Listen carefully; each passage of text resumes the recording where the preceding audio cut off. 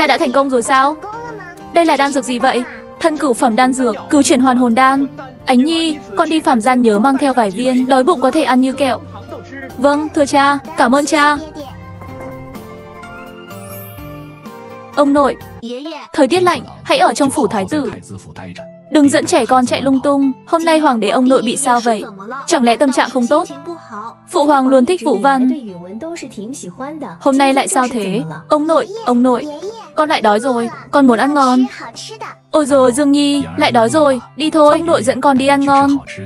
Kính chào mẫu hậu, quay về Đông Cung đi, hãy dạy dỗ Vũ Văn cho tốt. Nhìn thấy Chu Nguyên Chương cùng Mã Hoàng hậu dẫn theo Bảo Khánh công chúa rời đi, ánh mắt Chu Vũ Văn đầy ghen tị. Đáng ghét, đều là cháu. Tại sao Bảo Khánh công chúa lại được Chu Nguyên Chương và Mã Hoàng hậu yêu thương đến vậy? Chẳng lẽ vì nàng là con gái Chu Hà Nhân? Hừ, Bảo Khánh công chúa hả? Đợi đấy, ta sẽ không bỏ qua cho ngươi. Nhi thần kính chào phụ hoàng mẫu hậu. Ha ha, Lão tử đến rồi. Lão tử, ta hỏi ngươi, ngươi muốn làm thái tử không? Nhi thần hãi hùng, đại ca giỏi hơn con nhiều. Làm giám quốc thái tử, trên có thể chia sẻ nỗi lo với phụ dưới có thể chăm sóc chúng con. So sánh mà nói, con vẫn còn kém. Vị trí thái tử này, đại ca đảm nhiệm mới là hợp nhất. Nếu không phải ta đã xem qua sách diễn kịch, thật bị diễn xuất tinh tế của ngươi lừa rồi. Xem ra từ nay về sau hành sự phải cẩn thận hơn. Phụ hoàng không thể vô cớ hỏi như vậy. Chẳng lẽ là đã nhận ra điều gì? Ngươi chính là tứ thúc mà phụ thân nói sẽ phản nghịch trong tương lai sao? Cháu ngoan, cháu không cần phải hại tứ thúc như vậy. Ta, ta sao có thể đi phản nghịch được? Cháu ngoan, phụ thân cháu còn nói gì nữa không? Phụ thân hình như còn nói về một đại hòa thượng tên là Diêu Quảng Hiếu. Đúng vậy, hắn có thể sánh ngang với một người tên là Lưu Bá Ôn. Ngoài ta ra, cả ứng thiên phủ không ai biết đến Diêu Quảng Hiếu. Nay lại bị đại cháu gái trực tiếp chỉ ra. Xem ra tất cả của mình đã sớm bị nhị ca nhìn thấu. Nhị ca của thực đáng sợ hơn mình nghĩ. Lão tử ngươi run gì thế? Ta đâu có ăn thịt ngươi. Phụ hoàng, con con. Nhi thần đột nhiên cảm thấy lạnh. Ôi, Hạ Nhi cái gì cũng biết. Thấy tương lai đại minh sẽ nổi loạn. Khi đó cũng không quản. Đúng là, không xem trọng Giang Sơn ta khó nhọc xây dựng. Cháu ngoan. Cha cháu rốt cuộc đang bận việc gì? Phụ thân đang luyện đan. Chẳng lẽ thế gian này thật sự có trường sinh bất lão? Nhân Nhi rời đi cũng để luyện thuốc trường sinh. Vậy mình có cơ hội hưởng chút không? Cháu ngoan, chẳng lẽ cha cháu đang tìm cách trường sinh? Trường sinh bất lão đơn giản thôi. Cháu tất nhiên không làm việc nhỏ nhặt ấy. Một trong 12 phù chú cha ngưng tụ, cầu phù chú, có thể khiến người ta trường sinh, mãi mãi thanh xuân. Cầu phù chú trường sinh bất lão, giống như mã phù chú chữa bách bệnh sao? Ông nội, thực ra 12 phù chú là biểu hiện sức mạnh của cha. Chốt phù chú hóa tính thành động, không chế lực sinh mệnh. Ngưu phù chú là lực lượng.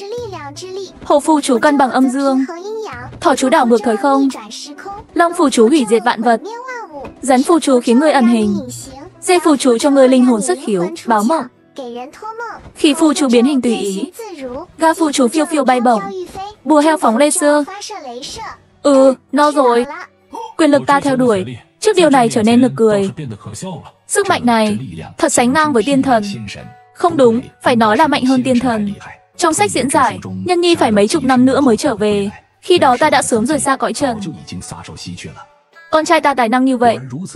Đáng tiếc ông nội không thể thấy. Thời gian không chờ đợi ai. Nghe được trong lời của Chu Nguyên Chương, sự thất vọng, hắn cũng không muốn ông nội, trong lòng buồn bã. Có ông nội, thúc thúc. Các người học pháp thuật chẳng phải được sao? Chẳng lẽ ta, chúng ta đều có thể học? Ôi, ông nội và thúc thúc so với phụ thân. Như anh ngồi đầy giếng.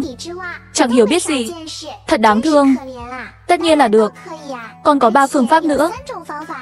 Nếu có thể học pháp thuật Thậm chí có được năng lực trường sinh bất lão. Điều này chẳng phải hơn hoàng đế rất nhiều sao? Ta phải hào hảo lấy lòng tiểu điển nữ của ta. Vậy, Dĩnh Nhi, mau nói là ba phương pháp nào?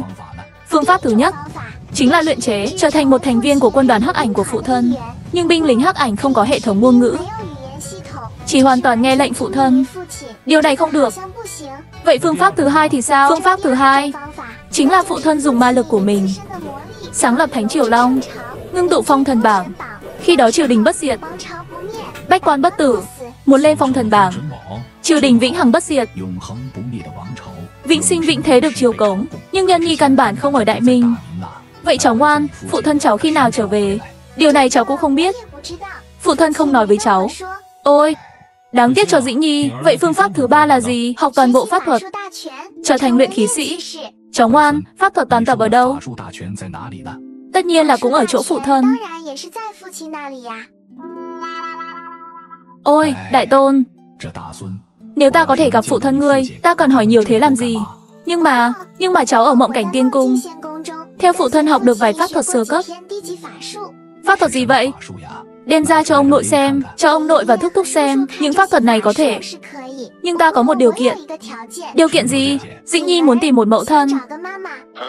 Cháu ngoan, tại sao lại muốn tìm một mẫu thân? Vì phụ thân rất cô đơn. Nếu có mẫu thân bầu bạn, chắc chắn người sẽ rất vui. Đứa trẻ ngoan, thật sự khiến người khác ganh tị mà. So với con của nhị ca, ba đứa con ngu ngốc ở nhà, suốt ngày chỉ biết nghịch ngợm phá phách. Ngày mai việc này giao cho Thúc Thúc lo liệu. Bắc Nguyên có một công chúa, nghe nói là mỹ nhân đệ nhất Thảo Nguyên. Thúc Thúc sẽ bắt về làm mẫu thân người. Không được, Bắc Nguyên Man Di không xứng với Nhân Nhi. Ta thấy em gái của Từ Diệu Vân, chúng ta nhìn rất xứng đôi. Nếu có thể giới thiệu em gái của phu nhân ta cho nhị ca, quan hệ của ta và nhị ca sẽ càng thêm thân thiết. Thân muội mỹ lệ đoan trang, hiền thục chu đáo, thực sự là lựa chọn tốt. Còn công chúa Bắc Nguyên, làm thiếp cũng không tệ. Chỉ là, chỉ là đất Bắc Nguyên, thảo nguyên rộng lớn, cũng khó đánh. Thúc thúc hiện tại không biết pháp thuật, quá yếu rồi. Lão gia trong lời muốn học pháp thuật. Ngươi nói cái gì mà vớ vẩn vậy? Hiện tại Bắc Nguyên là gì chứ? Ha ha, phụ hoàng đừng trách phạt, là nhi thần nói bậy. Cảm ơn ông nội và thúc thúc. Việc tìm mẫu thân cho Dĩnh Nhi ra cho các người nhé. Còn về pháp thuật, quá cao cấp thì cần nhiều điều kiện. Hai pháp thuật sơ cấp này, các người bây giờ có thể học. Ngưu ma luyện thể quyết, long ma thổ nạp thuật,